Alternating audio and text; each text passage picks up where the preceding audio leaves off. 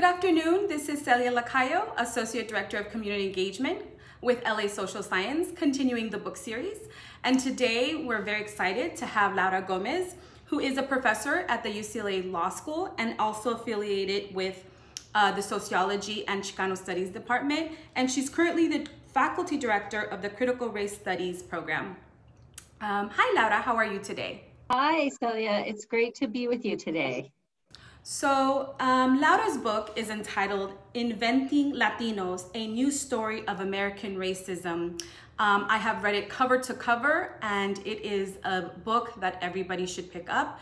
And Laura's going to explain uh, to us uh, the critical contributions um, and why it's such a relevant book in our time right now. Um, so Laura, can you tell us what is the genesis of this book? Um, how does this historical and critical examination of Latinos um, as a racial group, how did it come about?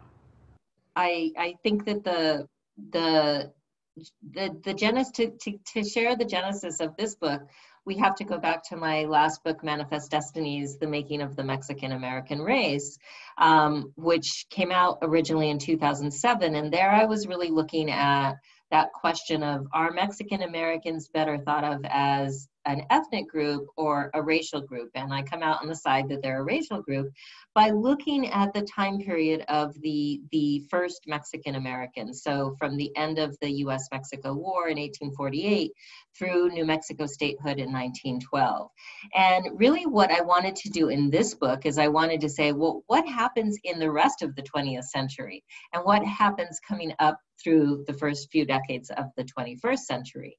And so this book is really taking it forward in time, but also making it bigger, taking in other Latino national origin groups, right? Because I think when when I looked at the evidence, there is actually a very common dynamic, um, even though there are significant differences among national origin groups, especially when you look at Puerto Ricans in the 20th century, there are many commonalities with the Mexican American experience in terms of racialization.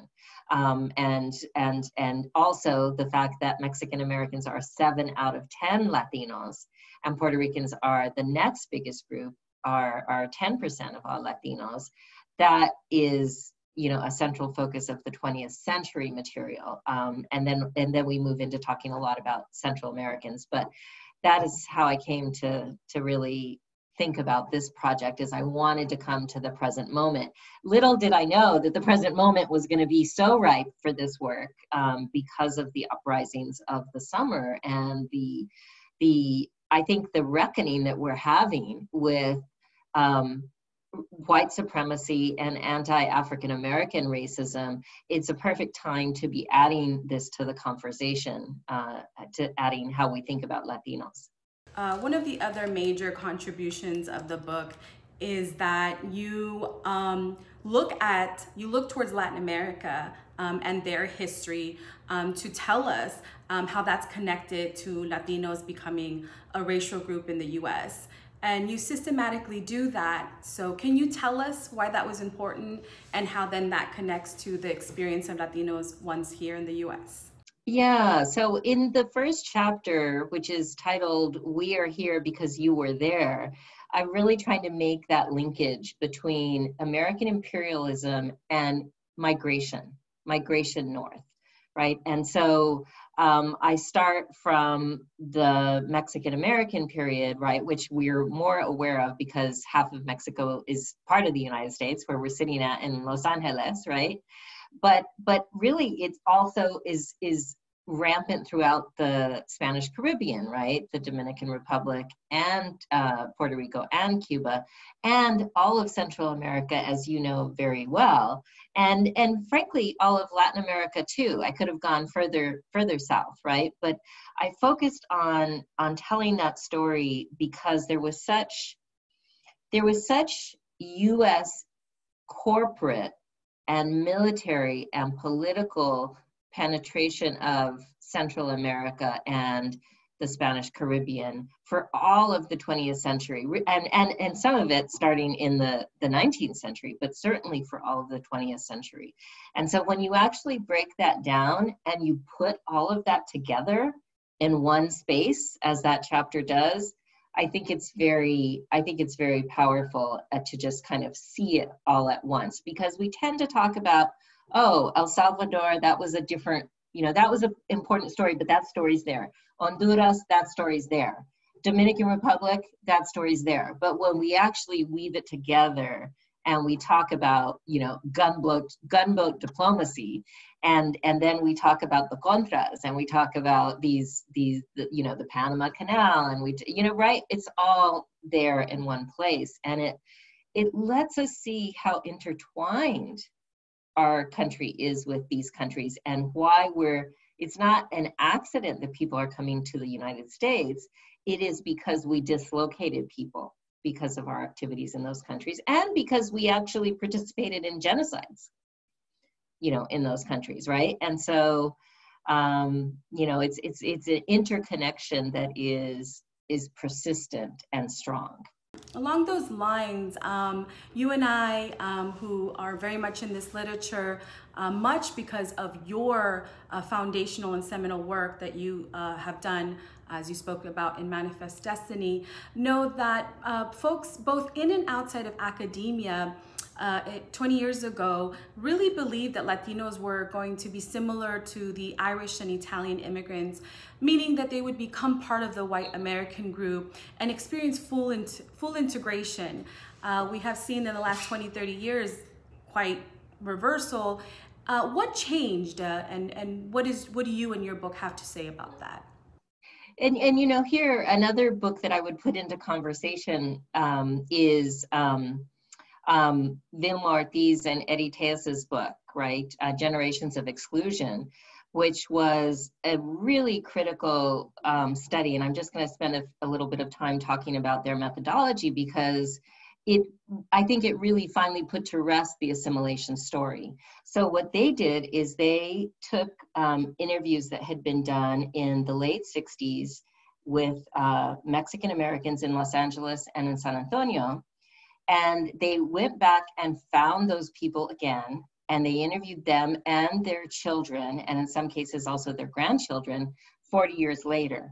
And, and this is a quantitative analysis, right? So we have the same families observed over time, and we found downward mobility, right? Downward mobility, and that's that's exactly um, it's it's it's it's it's not that there weren't some signs of assimilation. There are. People speak English after they've been here in the US over multiple generations, right? But what's persistent is the level of um, living in segregated neighborhoods, going to segregated schools. Um, there's some uh, out marriage, marriage outside of, of the Mexican popu- Mexican American population, but there's a lot that's still inside. Um, they look at all kinds of things and they find this persistent, um, really persistent racial subordination rather than assimilation. Whereas if you look at Italian Americans or Irish Americans, sure, if we go back to the early 20th century, um, there is a lot of discrimination. There were even lynchings of Italian Americans, right? And but you don't see anything distinctive about Irish Americans and Italian Americans now in the main in terms of other white people. You just don't you just don't see that, right? So so I think that that argument has been put to rest in terms of the data, but in terms of the popular imagination, is still very much with us, right? And so people tend to say, um, what's why are you talking about racism? Latinos are in the position that they're in because they're immigrants. And I say, well, actually, only 20% of Latinos were born elsewhere, right? 80% were born in this country, and a substantial percentage have been here for multiple generations. And yet we still find this persistent racial discrimination, uh, segregation in terms of residence, which leads to uh, de facto segregation of schools and so forth. Exactly, exactly. And this is going to feed into the next question, which is, you know, you you really lay out a mountain of data to show those racial barriers, uh, those barriers, those specific barriers that Latinos endure, um, and you make the case for them really being a racial group. Um, can you talk to us about that? And then, equally important, you come up with um, a, an important way to challenge that, and you call it the politics of, of accountability. Um, so, can you walk us through that? Yeah, and I think I think that even as we talk about um, anti-Latino racism, we also want to acknowledge that Latinos had some benefits, certainly compared to African Americans, right? So what we often see is a kind of a hierarchy where we've got whites, Latinos, and African Americans, even though I want to put a big pin in that to say many Latinos are Black and many are are part black, right? We have, because of the legacy of Spanish colonialism and importation of African slaves into the Americas, we have African ancestry. Many, all of us have African ancestry. Many of us have more African ancestry rather than less, right? So I don't want to separate those, but in terms of the American racial hierarchy, African Americans have been at the bottom, right? And so Latinos were in this middle group still experiencing racism, but not being treated as badly as African Americans. For example, there was no de jure segre- segregation, segregation by law of Mexican Americans in Texas or in California, right? Um, there was no de jure segregation of Puerto Ricans, but there was de facto segregation of those groups. And so I talk about that, and I talk about, in particular, in the education sphere, it wasn't really until the lawsuits of the 1960s and 1970s, and even going further, 1980s, that you see that there's some attention to, to redressing the inferior education that Latino children have. Unfortunately, because of the shifts in the law and in the courts, those avenues for litigation are now defunct. We don't have those tools. And what we're seeing, look at what we're seeing in Los Angeles, right? Where LA Unified is is overwhelmingly students who are poor and students who are Latino. Um, um, now, in terms of the reparations that I talk about, it's not that I'm talking about reparations for, so it's very important that we understand and I don't want to I don't want to take our attention from reparations for slavery, right? For African Americans, which is really, you know, on the table right now, being seriously discussed and as it should be. So what I like to remind people of is reparations come in many forms. There have been in the past, um, the U.S. has made apologies, like we made an apology to Native Hawaiians. Um, there was a, a, a rep reparations for Japanese internment and we made um, that was a monetary one as well as an educational one. There was $20000 to each person who was interned. But what i suggest is the most important uh, way to repair that legacy of imperialism that we were talking about and the education and um, uh, uh, economic um, uh, poverty really poverty and, and segregation into low wage jobs is to deal with this problem of immigration in two ways. The main way is by giving amnesty to all Latinos who are in the US now and who have been here for more than 10 years. And we did that before. We did that in 1986 with the immigration, IRCA it was called, the Immigration Regulation IRCA uh, and something Act. Um, um, so we we know how to do that if we have the political will, if there is a win for the Democrats in in um, the the White House and in the Senate, we should do that um, immediately um, in in 2000 in 2021. Then the other piece of it would be group-wide amnesty, or um, sorry, not amnesty, asylum for Central Americans, because when we look at what's happening in Central America right now, the people and the children and the families who are fleeing north are fleeing violence that we largely created.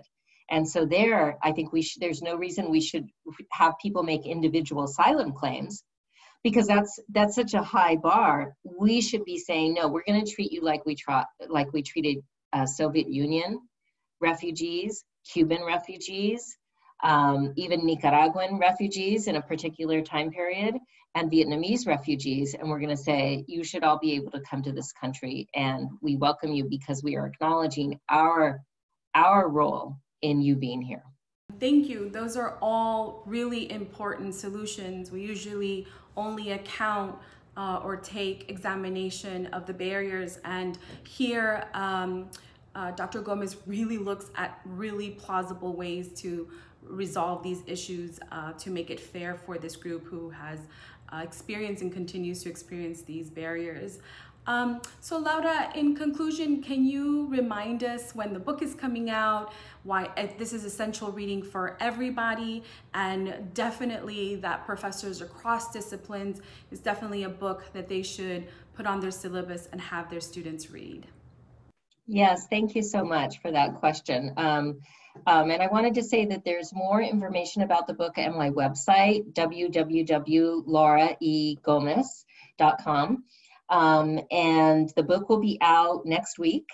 Um, so I'm just just in time for Hispanic Heritage Month.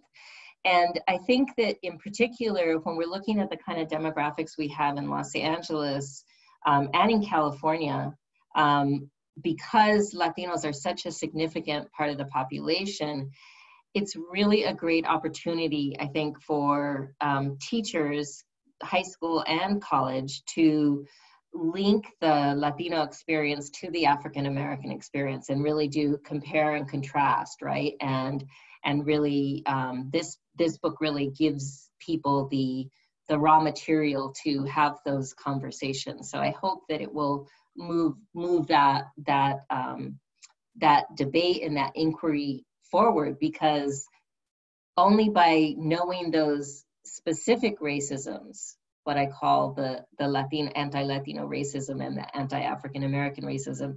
Can we fight them? Can we really mount a successful um, fight against them? And so I hope that this contributes to, to that project.